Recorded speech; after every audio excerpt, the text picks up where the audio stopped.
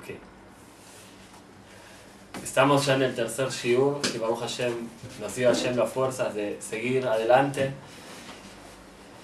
Estamos muy eh, también contentos de poder seguir dando al que está interesado escuchar eh, todos temas que tienen que ver, como dijimos en un principio, de Kabbalah y alrededor de eso. Y, comentarios de ustedes, preguntas, si podamos contestar. Y que y Hashem ayude para que estemos juntos sigamos bien.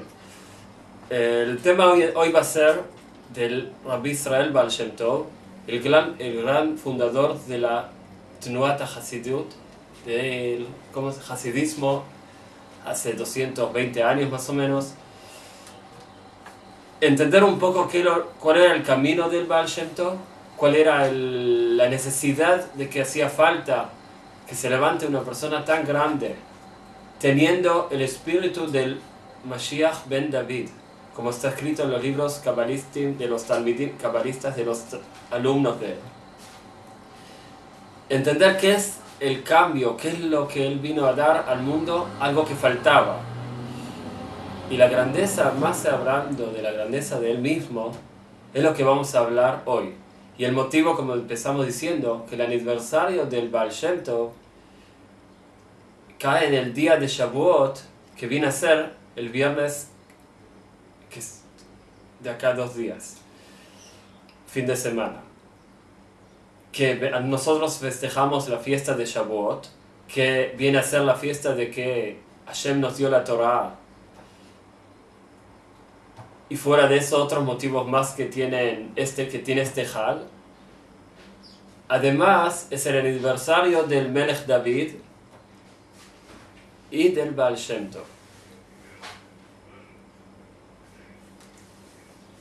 tenemos que, entender de que si, en general a Israel, no nada más el pueblo judío, sino en general la persona le gusta llevarse todo, todo tener la, la responsabilidad de lo que él hace en sí mismo. Significa, cuanto más una persona puede sentirse que él es el que hace las cosas, mejor se siente. Cuanto uno más pone responsabilidad en Hashem, y él se siente que menos vale, siempre es algo que la persona trata de, sea como sea, al final, dar vuelta a las cosas para él, para el lado de él. Él sentir que él es el fuerte, él es el que hace, él es el que soluciona los problemas. Pero la verdad es otra, que aunque sea que la persona es el que hace las cosas, está todo en las manos de Hashem, no nada más si la persona va a tener suerte en lo que hace o no, sino por qué la persona hace las cosas. El que lo empuja a la persona a hacer lo que hace está siempre en las manos de Hashem. Cuanto la persona más sus cosas se las pasa a las manos de Hashem, la, responsabilidad del mundo, la persona la transmite en las manos de Hashem. No la toma él mismo la responsabilidad. Él no se piensa que él va a arreglar el mundo, sino él pide a Hashem que lo ayude cómo arreglar el mundo, cómo llevar las cosas adelante, cómo arreglar su vida, cómo ayudar al, otro, al amigo, los amigos. Todo lo que sea, siempre en las manos de Hashem. Sabiendo de que realmente Hashem, el programa de Hashem, cuando creó el mundo, nunca se cambia.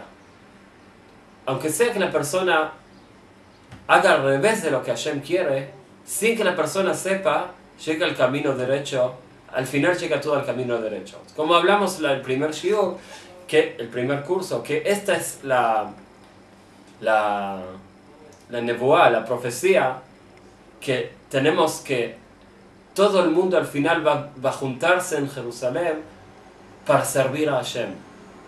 Sea de los goim, sea de las naciones más lejos que casi ni escucharon el nombre de Jerusalén en nombre de Hashem van a conocer a Hashem y van a venir acercarse y tener el zhut de servir a Hashem y van a abandonar todas las emunot, todas las, eh, las, las, lo que la persona cree, todas esas, lo que la, gente cree en cosas que no son verdad y van a creer nada más en el único Hashem desde siempre. Cuando el Baal se descubrió en este mundo, lo primero que empezó a hacer es demostrar que cada uno y uno sirve para algo. Cada uno y uno vale más de lo que uno mismo sabe que él vale. Si las cosas se van midiendo según lo que cada uno gana de otro, entonces hay gente que trae mucha, que de ellos se gana mucho, y hay gente que de ellos no sale mucho, muchas ganancias. Si, la uno mide al otro según lo que yo recibo de él, entonces, que es el mundo que estamos viviendo hoy en día, entonces las cosas se ven diferentes completamente. Pero cuando vino el Baal y empezó a medir al mundo según la voluntad de Hashem en este mundo. Según si Hashem creó a cada uno y uno, quiere decir que Él quiere a cada uno y uno. No puede ser que haya una persona que sea más que otro o menos que otro del lado este nada más. Que Hashem quiera a todos por igual. Puede ser que uno vale, vale más que otro, otro más que otro y otro menos que otro. Pero los ojos de Hashem valen todos igual. El ejemplo es, si vamos a agarrar un automóvil, un coche, le vamos, vamos a ir al negocio y preguntar cuánto salen las ruedas, nos van a decir, todas las ruedas del coche, 200 dólares. ¿Cuánto las ventanas? Otros 500 dólares. El motor, bueno, si es un coche caro, entonces el motor es lo principal muchísimo, mucho más, unos cuantos miles de dólares.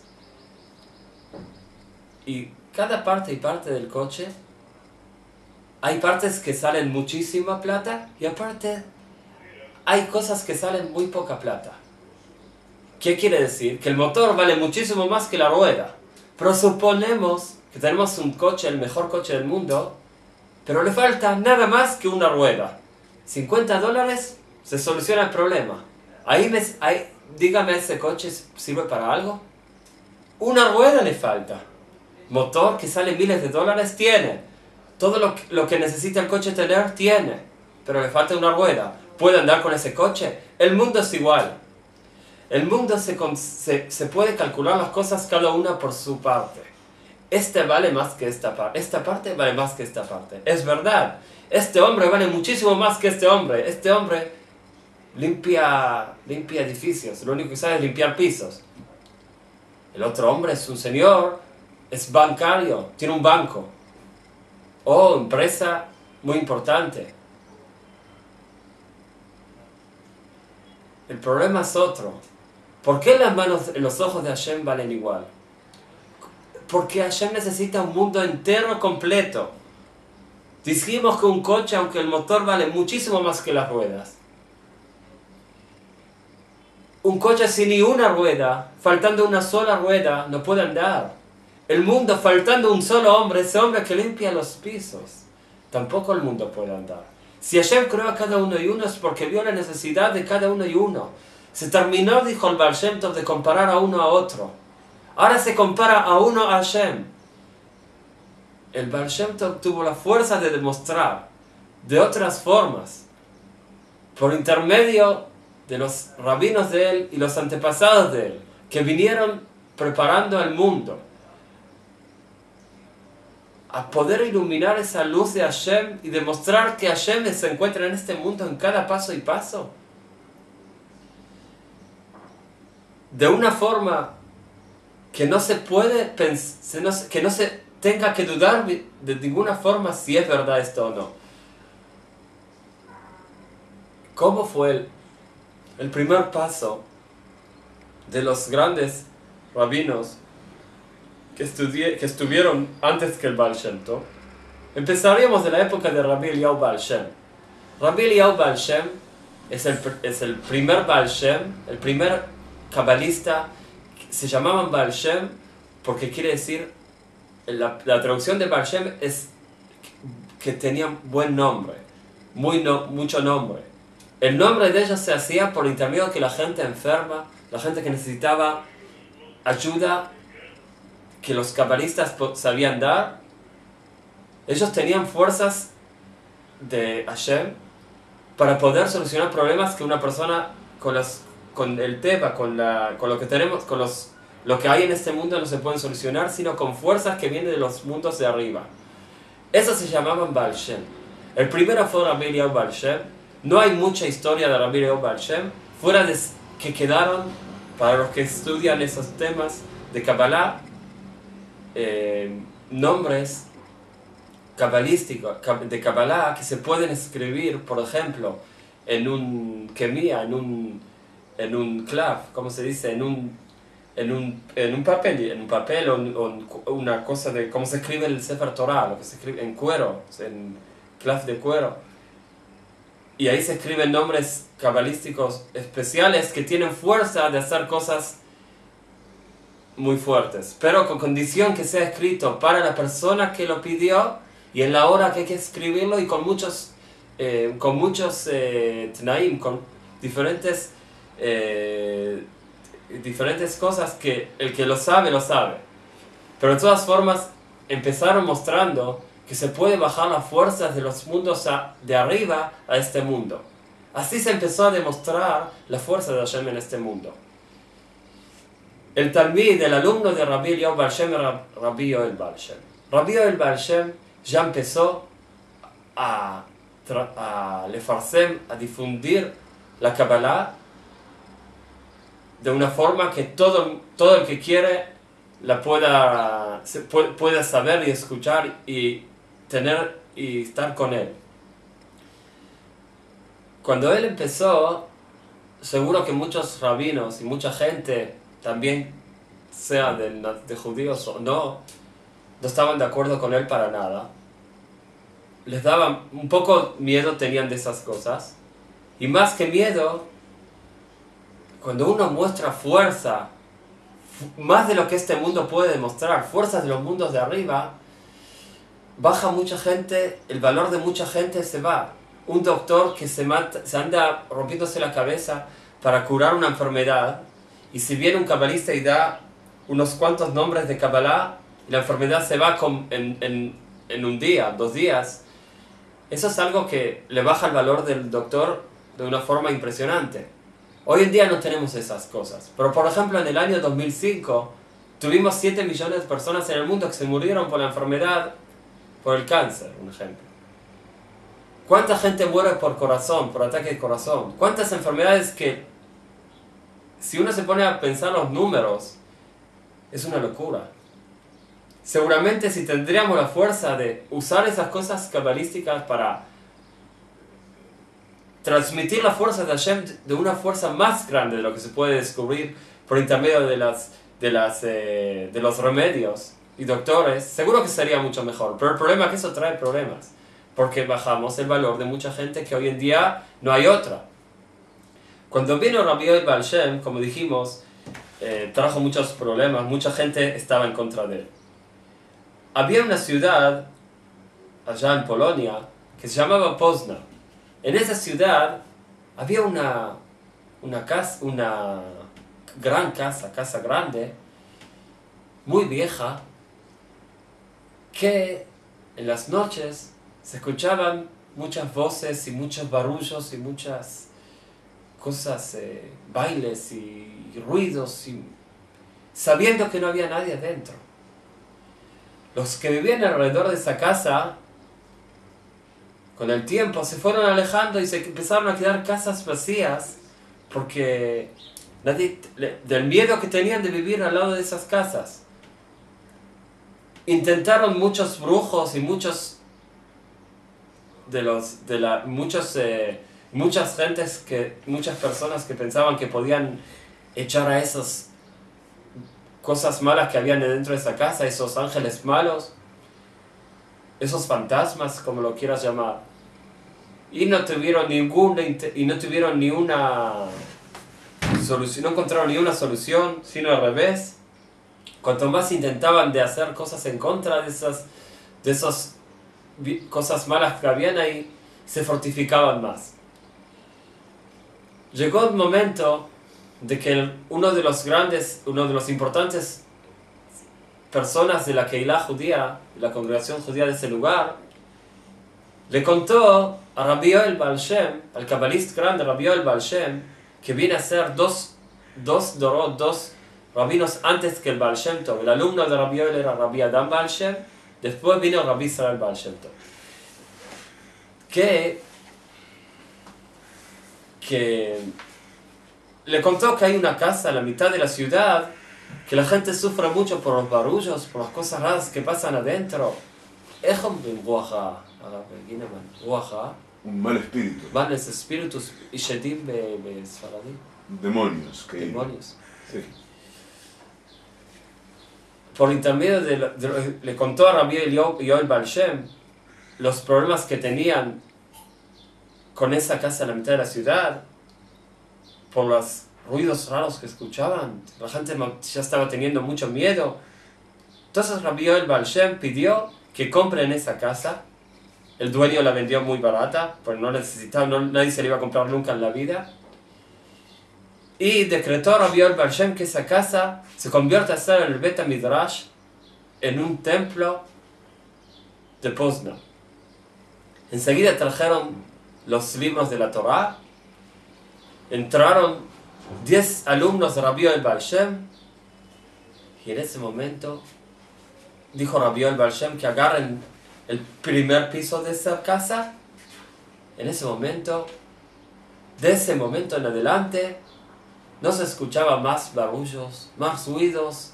Toda la ciudad vio la fuerza de la Torah, la fuerza del cabalista grande Rabbi el Balshem, que cuando él les dio a sus alumnos también, como dijimos antes, nombres cabalín, nombres cabalistas, para poder, para pensar y echar a todos esos demonios y cosas raras que habían ahí y actuó. Era algo que no se podía dudar. Años sufriendo de ese problema, en un día se solucionó el problema. Pero después de unas semanas, más o menos seis semanas, de a poquito se empezaron a escuchar ruidos de vuelta, de vuelta, de vuelta, de vuelta, hasta que fuera del en el primer piso que estaban los libros de la Torah y los alumnos de Rabbi abajo ya era, era peor que antes. No nada más eso, sino que de las ventanas se veían la noche, ya se empezaron a mostrar cosas no buenas, demonios y todas esas cosas que no, no entendemos mucho de eso, pero cosas que vienen del lado no bueno. Y ahí los que estaban en contra de Rabbi el Balshem encontrar, encontraron eh, lugar para reírse de, todo lo que hizo hasta ahora el, el cabalista grande y demostrar que no sirve para nada todo lo que hizo porque el problema empezó a volver, a volver de vuelta. Vinieron los alumnos delante del cabalista Rabbi y le pidieron por favor que venga a esa ciudad y solucione el problema. Él mismo, no mandando alumnos, él mismo. Vio a Rabbi que es el momento de le farcem, de que todo el mundo vea la fuerza de Hashem por intermedio del el estudio de la Kabbalah, dijo, este es el momento. Se levantó Rabbi el Balshem con sus alumnos, después de hacer lo que les, ellos hacían, se preparaban, tenían que no comer unos días, hacer ciertos, ciertas tefilot, rezar tantas cosas, se, se, venían con, se escribía cada uno sus, eh, sus, en sus papeles sus eh, nombres cabalá que se tienen que pensar y a veces también decir según la necesidad. Y entró Rabbi el Balshem con sus 10 alumnos y enseguida pide que vengan tres rabinos importantes que saben juzgar según la halajá yehudit, según la Torah. En ese momento Rabbi el Balshem les pide a los demonios que estaban ahí y a todas las fuerzas de la tumba, de las cosas no buenas, que se presenten delante de ellos para juzgarlos a ver si pueden quedarse aquí o no.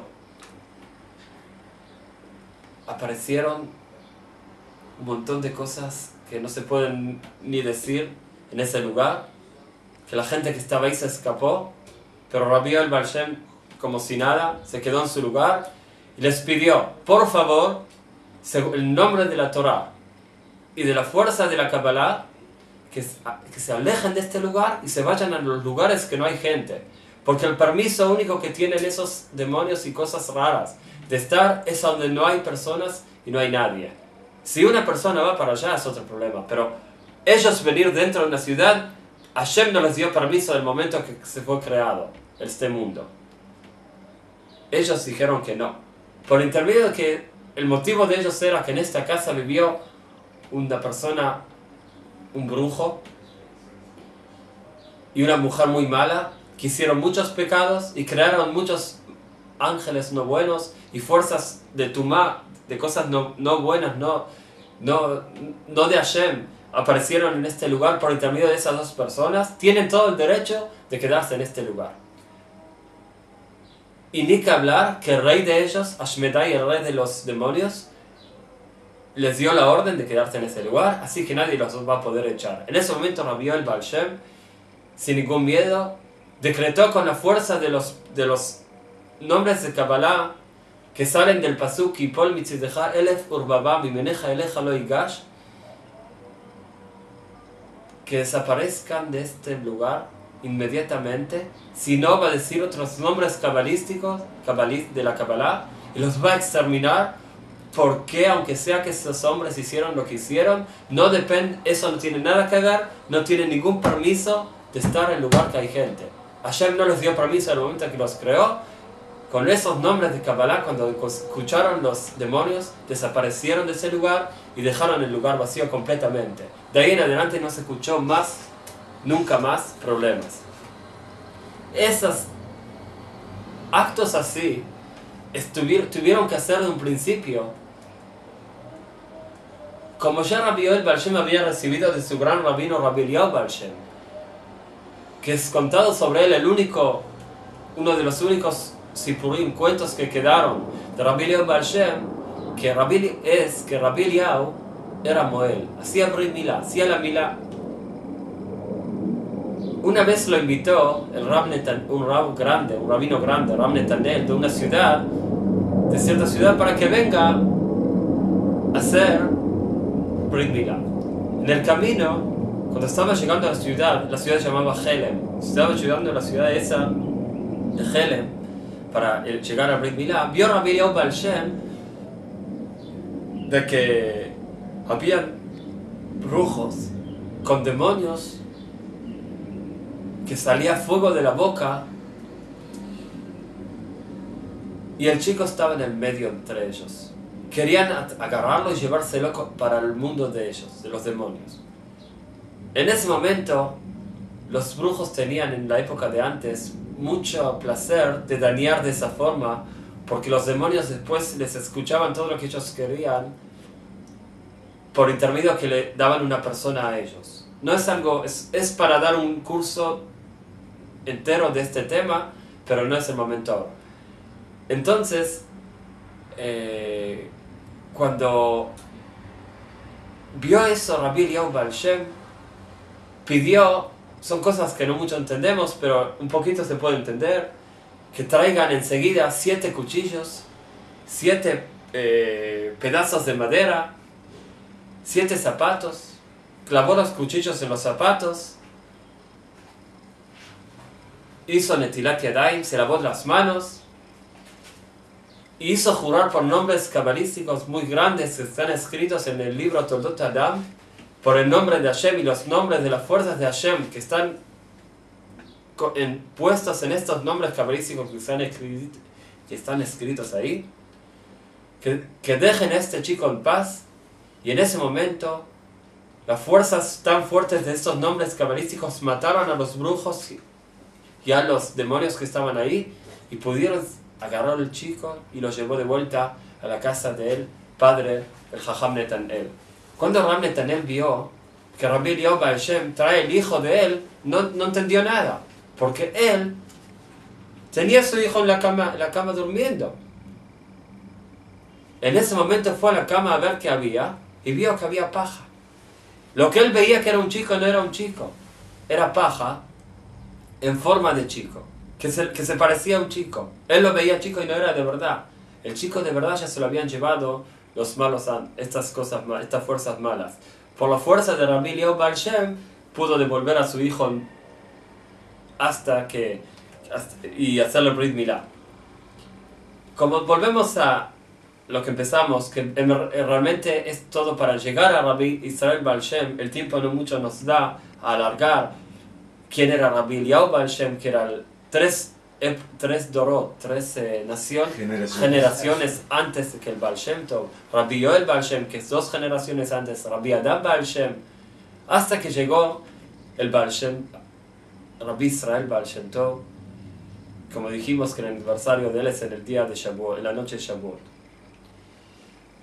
La diferencia que tenía Rabbi Israel Baal Shem Tov a los anteriores de él, que él ya tuvo fuerza de por intermedio de pensamientos en Hashem y las fuerzas de Hashem, poder transmitir a este mundo esas cosas sin necesitar escribir o hacer ciert, una, escribir nombres de Kabbalah y jurar fuerzas de arriba que vengan acá a, a- a hacer lo que necesitaba.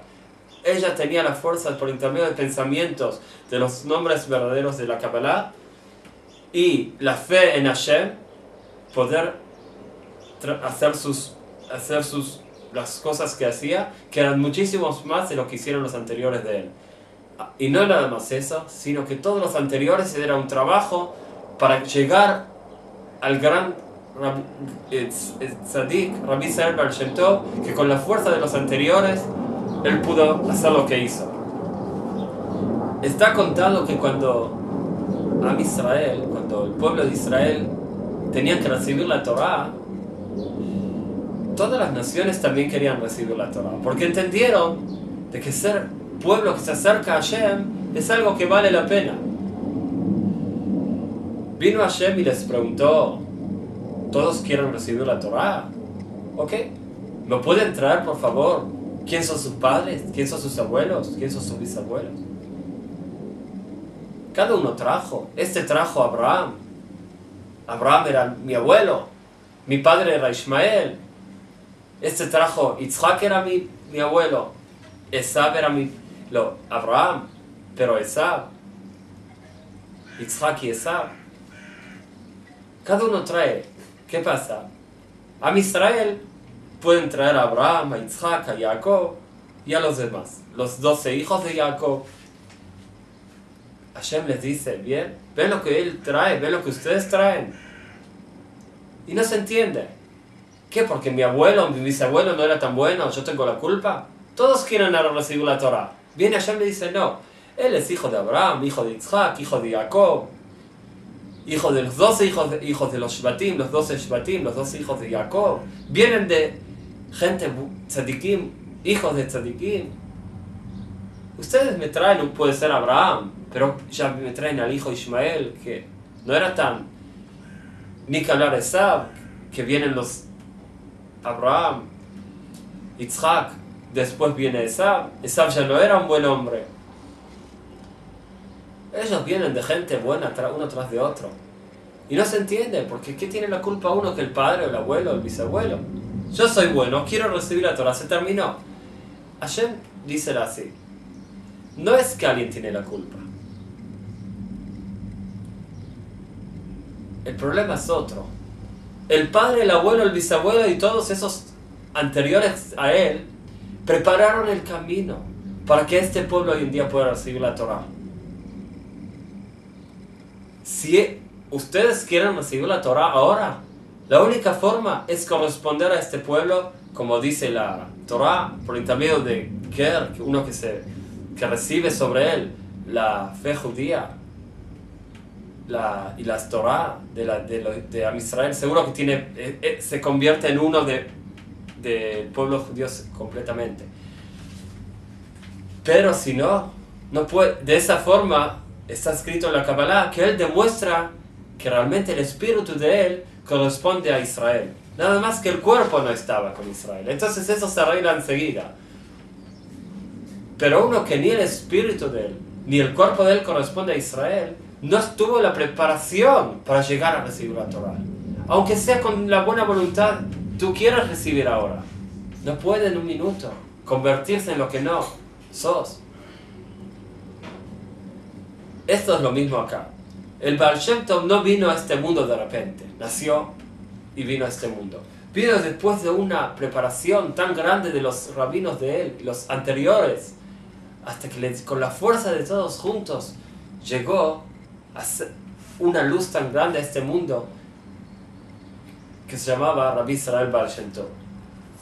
Vamos a hablar ahora de Rabbi Israel Tov, que él vino entonces a este mundo a dos cosas en especial, muchas más, pero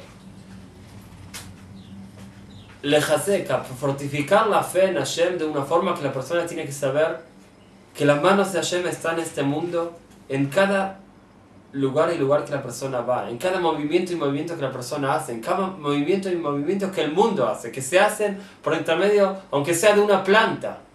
Todo está con la intención de Hashem se hace. No hay nada que salga sin querer, sin, por, porque pasó así. No, todo viene por con la cabana de Hashem, todo viene por, por la voluntad de Hashem, se hace todas las cosas que, que se hacen.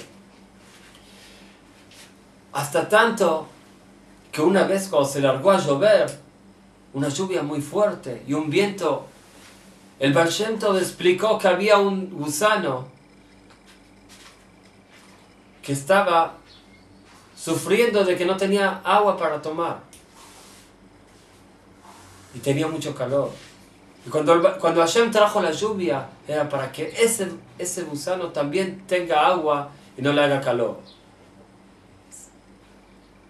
Aunque sea la paja que se cae de una carroza, dijo el Baal La voluntad de Hashem está tanto en esa paja como está en una persona, como están las cosas más grandes que se hicieron en este mundo.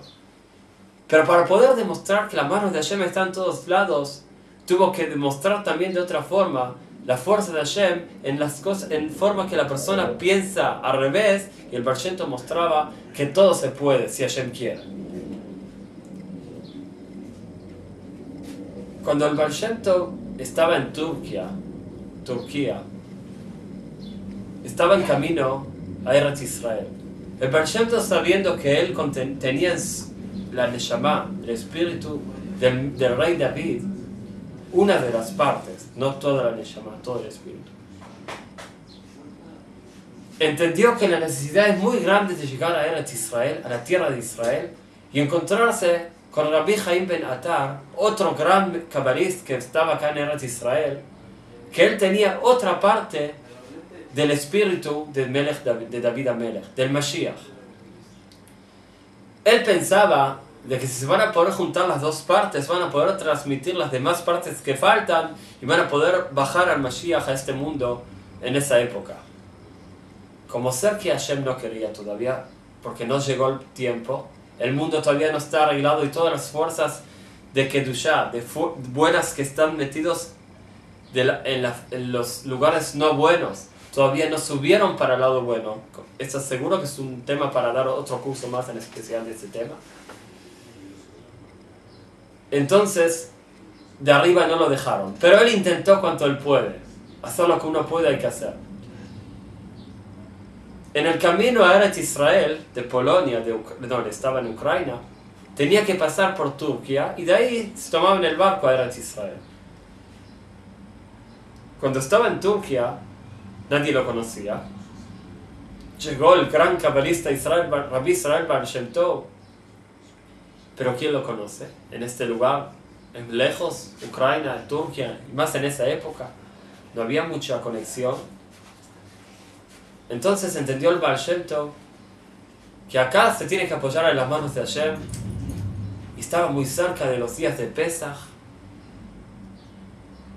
el Hag Pesach que, hace, que es en el mes de Nisan, y no hay quien lo invite, no tiene plata para cómo hacer el Hag la fiesta esta de Pesach.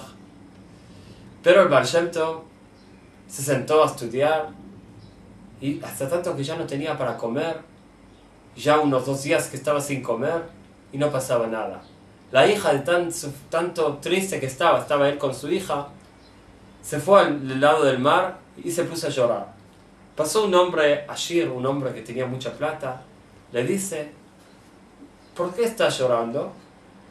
Le dice, ¿cómo no voy a llorar si no te puedo ni contar quién es mi papá? El gran cabalista que en, su lugar, ¿quién no lo conoce? Y las fuerzas que tiene y la sabiduría de Torah.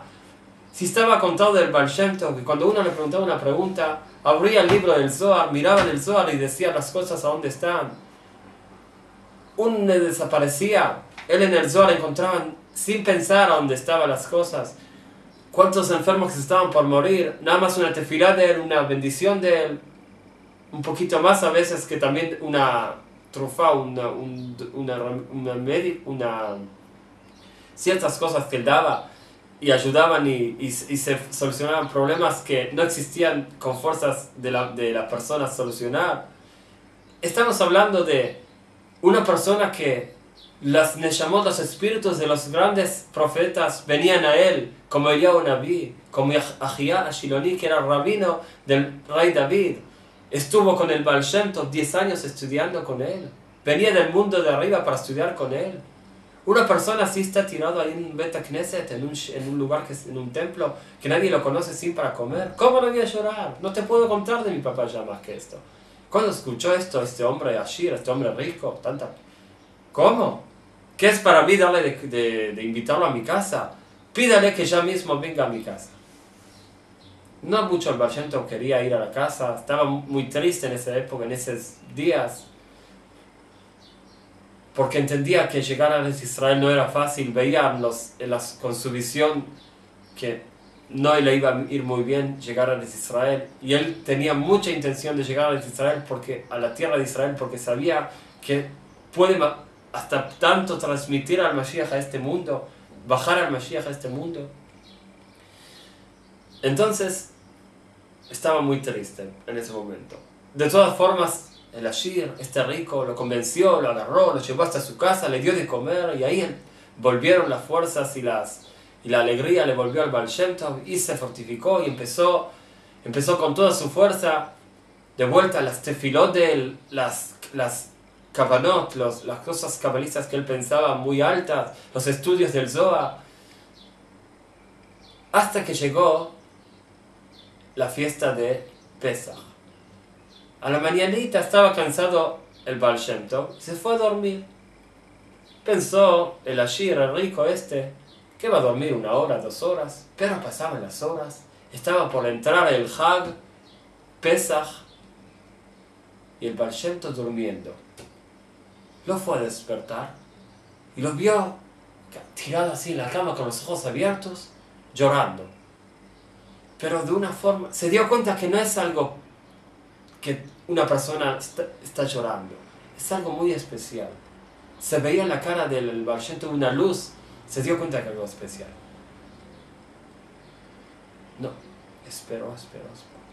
Hasta que se levantó el Barshento y como si nada, se, se bañó, hizo la tevilá, la mikve, se entra en el agua y salió como hacen antes del Hag, se, se, se hace en la mikve, se, se, se entran al mar se, una, un lugar que hay agua, se, se, entra todo el cuerpo y se sale y eso es para recibir la, eh, la, la luz del Yom Tov, la luz del, del Pesach o de sábado, de lo que sea, se hace antes de Shabbat, según la Kabbalah, este acto que dijimos. Empezó a hacer la tefilá en el Beta Knesset, en el, en el templo, hacer rezar con una alegría, con una luz y el Cedar de Pesach empezó, la, después que se vuelven de la tefilá, en Pesach, oh, empezó, se vio que el Barshento no estaba en este mundo, estaba como si hizo algo impresionante. Le pregunta a la Shia, ¿de qué está tan contento? ¿Qué pasó? ¿De qué se trata lo que durmió tantas horas? Si no estaba durmiendo, estaba llorando. ¿Me puede explicar algo de todo eso? el Baal le dijo, te voy a explicar bien bien lo que está pasando.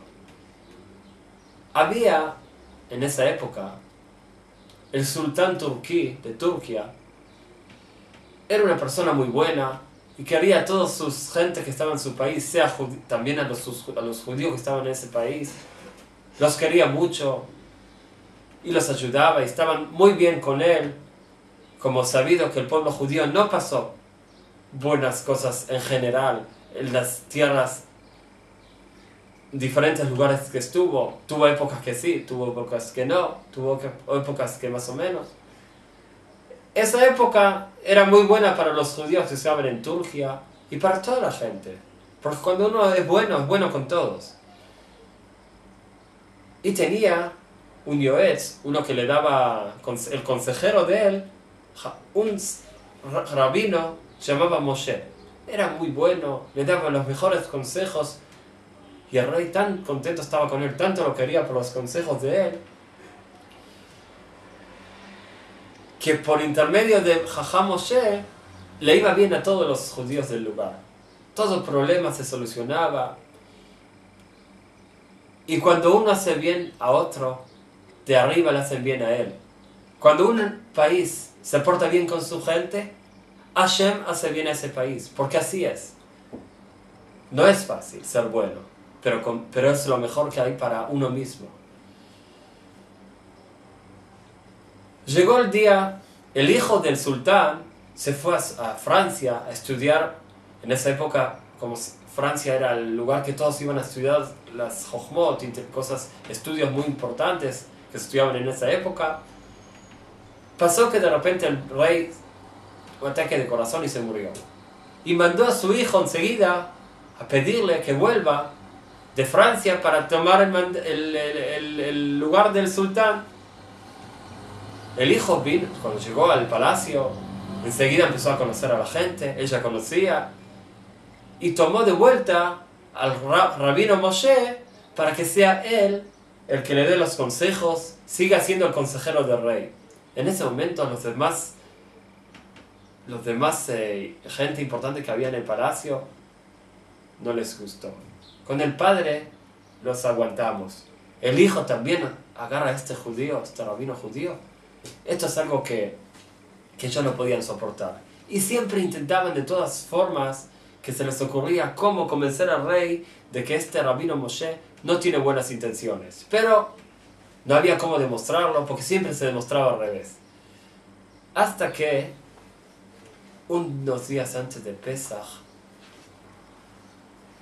perdón, el Pesach mismo, le pidió uno de los grandes príncipes del sultán pasear con el sultán por las calles de Turquía. Pero la intención era llevarlo a la Shuna, donde vivían los judíos. Y cuando el sultán pasaba la noche de Pesach, escuchaba las canciones y la alegría de los judíos en sus casas, entendió que algo raro anda pasando. Él no entendía de los fiestas judías. El príncipe le dice, sabelo, que esto es porque están preparándose para salir contra tuyo, para escaparse de aquí o para traer a los enemigos aquí. Están contentos porque, porque lograron hacerte un daño para todo el país. El rey se pensó que era verdad. En ese momento escribió rápidamente un decreto de echar a todos los judíos de Turquía y al Jajam Moshe, al consejero Moshe, por no haber decirle la verdad y encima estar con los judíos en la en, la, en el mala malo intención este, colgarlo en el Kikar en la mitad de la ciudad, que todos vean cuál qué es lo que, lo que, cuál es lo que, qué es lo que el sultán hace a la gente que, a los traidores. Eso es lo que el Baal Shem antes que pase, estaba viendo cuando durmió. Y llorando, pidiendo a Hashem y siendo subir la Neshama de él arriba para poder solucionar los problemas y anular esta anular este decreto malo.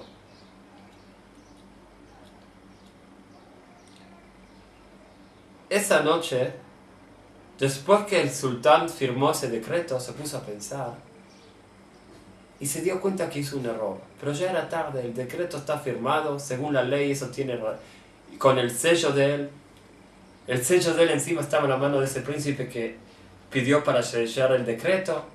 No había cómo darse vuelta, cómo, cómo anular. Y le empezó a doler el corazón. ¿Por qué hice algo así? ¿Por qué creí una estupidez tan grande? Ni averigüé de qué están tan contentos. Puede ser que tengan otros motivos. Mandó a llamar rápidamente al consejero Moshe, Jaja Moshe. seguro él tantos consejos buenos tiene, también acá me va a solucionar el problema mío y de él. Enseguida llega el Jajam Moshe y escucha, ¿por qué el rey quería hacer este decreto tan malo? Si es el Hag Pesach, la fiesta de que salimos de Mitzrayim hace miles de años, y todos los años hacemos esta fiesta, no tiene nada que ver con el rey, no tiene nada que ver con Turquía, no pedimos a ningunos enemigos que vengan acá, no tiene nada que ver con nada. ¡Qué estupidez! Bueno, perdóname, pero ahora qué puedo hacer, le dice el sultán. Ya está el decreto y el sello en la mano del, del príncipe este. Tengo una solución. Diga muy fácil que el príncipe es el que robó el sello y él selló con el sello del rey porque lo robó el decreto no es del rey, entonces hay que matar al príncipe porque robó el sello y decretó a nombre del rey algo que nunca el rey lo pensó. ¿Es tan fácil? Eso está muy fácil hacerlo. Al otro día a la mañana, mientras tanto el Valshento cuenta todo esto al Ashira este, al rico este, dice, ¿te parece? Eso es un cuento. ¿Es verdad todo lo que estás diciendo? El Jajam Moshe es el consejero del rey. Pero ¿te parece todo lo que vos estás diciendo? ¿Cómo puede ser? El sultán es tan bueno, va a crear una estupidez tan grande, que estamos en un peligro tan grande que nos echen de acá. Ulay, el Ulay es un sueño. ¿Usted está tan contento porque le la Xerá? ¿Cómo es el fin de la Xerá? Que mañana en la mañana van a colgar al príncipe este en el Kikarair, en el centro de la ciudad.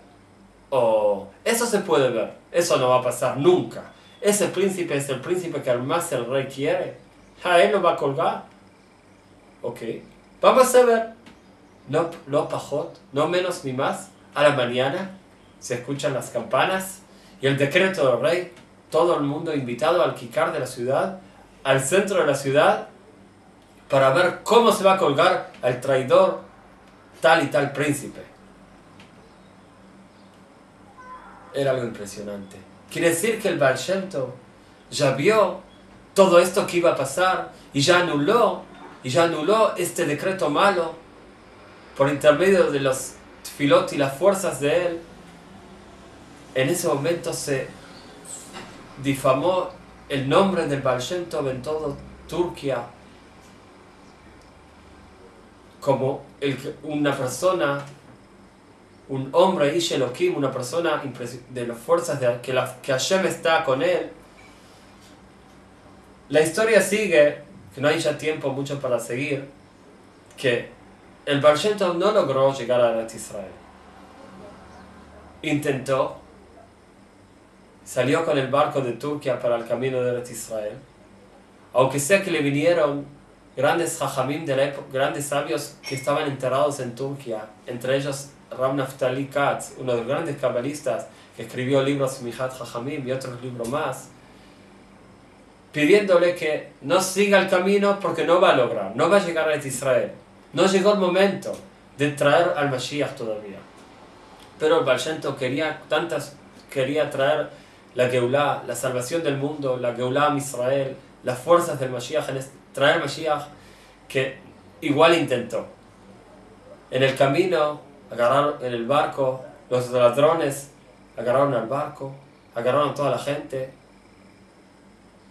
Y está contado de que el Balshento en ese momento se, se perdió todas sus fuerzas, no tenía, se quedó como una persona que, cualquier persona no tenía nada, nada para hacer. Perdió las fuerzas y lo estaban por matar.